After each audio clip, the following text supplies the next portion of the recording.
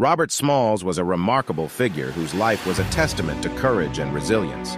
Born into slavery in 1839 in South Carolina, Smalls managed to overcome the oppressive chains of his circumstances. In 1862, while working as a deckhand on a Confederate ship during the Civil War, he seized a moment of audacious bravery.